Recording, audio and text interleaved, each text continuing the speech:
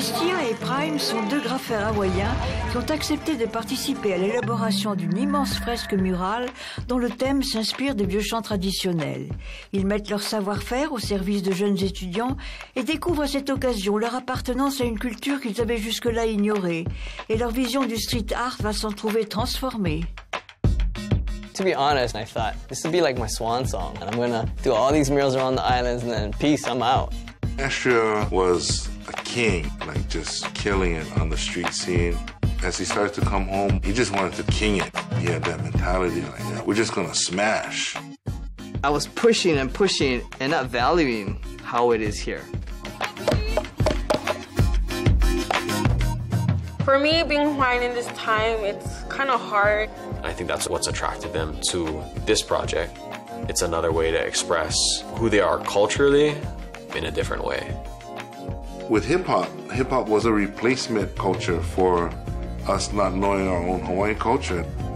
It's gone deeper and deeper into our Hawaiian culture, deeper into the spirituality that opened our eyes to this whole part of life that we hadn't been aware of. The dream was to give them more accessibility to this art form and to get better than my generation could have ever been. When I lived in California, it was me by myself. I was missing a feeling of connectedness.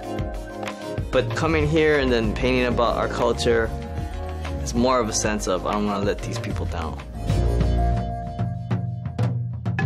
Comment sauver ces tatouages que les anciennes en Papouasie-Nouvelle-Guinée exhibent encore sur leur poitrine, sur tout leur corps Ces motifs qui leur assuraient une place dans leur société.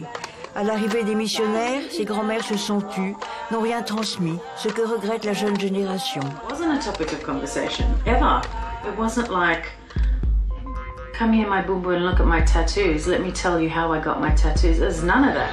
Simply, part of the problem is that when the missionaries came in, they tabooed tattoo. Hmm. But I don't think they realised the importance of the tattooing and what that actually played um, or what that did to um, empower our women and their roles in traditional society.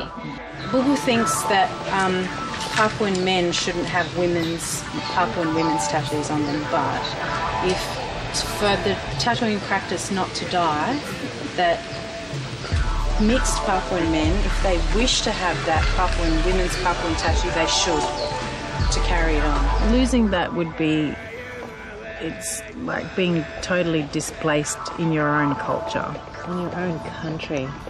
Being unable to identify yourself. Audience are becoming, uh, you know, the ghost or ghost or something like that, or believes uh, ideology or something like that. So this is where the culture is being phased out. Rendez-vous à la Maison de la Culture jusqu'au 12 février.